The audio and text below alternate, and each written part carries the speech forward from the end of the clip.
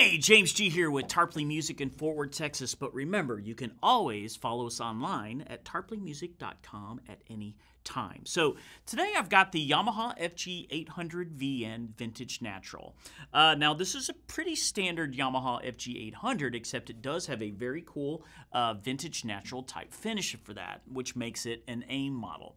Now AIM is the Alliance of Independent Music Merchants, so there's certain uh, companies that are a part of that AIM group that can that can um, they're the only ones that can carry this with the Vintage Natural, and of course we are one of those. But I really wanted to talk, talk about this guitar because a lot of people, when they're getting started, ask a lot of questions about you know introductory level guitars, and the biggest thing I hear is, "Well, I want to get what can I get for cheap?" I'm like, "Well." Don't com- don't confuse cheap with inexpensive. Okay, there are a number a number of really cheap guitars out there on any website you can find it. Okay, uh, but you can get inexpensive and still get a quality instrument. Now Yamaha. They've been doing student model instruments for years. They do it through pianos, keyboards, all types of horns, um, with guitars, drums, percussion. And so I tend to really lean towards them for student model or introductory level stuff. So don't get that confused with Yamaha cheap model. No, it's just where they start and it's their inexpensive models. Um, now, this particular shape here, uh, Yamaha refers to as a Western, uh, but you also hear it as Dreadnought, which is one of the most famous uh, full style body guitar um, styles here. And it is a Sitka spruce, it's a solid Sitka spruce top um, which is very common also for uh, good acoustic guitars. And then the back and sides are actually made out of wood called NATO. It's got a nice uh, black binding here. And then uh, the, the fretboard is rosewood as well as the bridge, which are good solid woods there. The uh, nut and the saddle are made out of urea, and that's a very uh, Yamaha uses urea a lot. It's a really great plastic that's easy to shape and easy to hold. So you'll see that on a lot of, of their models of, of instruments there. And it holds tune uh, just fine. And it's a 15 and uh, 3 fourths radius, which is really standard for most student model acoustics. So if I was looking for something inexpensive for a student model, of course, this has no electronics in or anything. This is literally just your good old Western or Dreadnought style guitar for strumming. Some people actually use these for campfire guitar, something like that, where it still sounds good, it's playable, but they're not taking a really expensive guitar out. So there's a lot of reasons to get this particular guitar. So what I'd like to do is, since it's not electric, we're just going to mic the guitar several different ways uh, so you can got, kind of get a feel for how it sounds, and you start realizing you don't have to spend a whole lot of money to get a good sounding acoustic.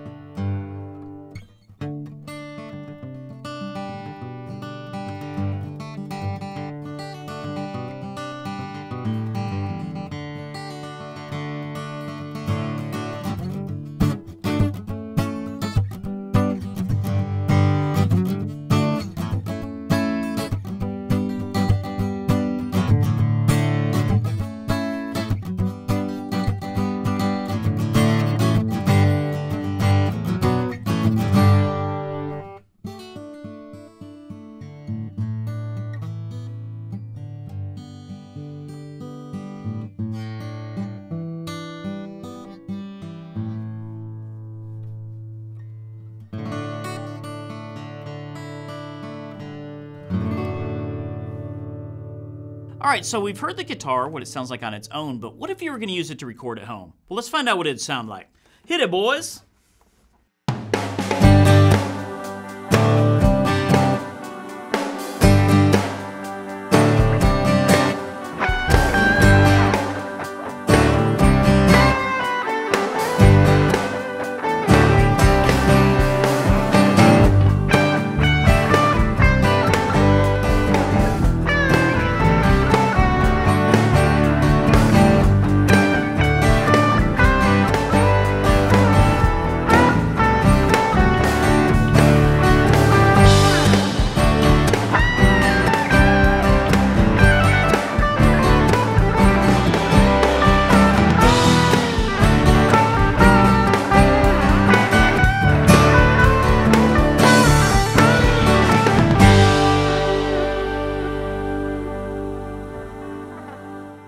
All right, so uh, Yamaha FG 800 VN.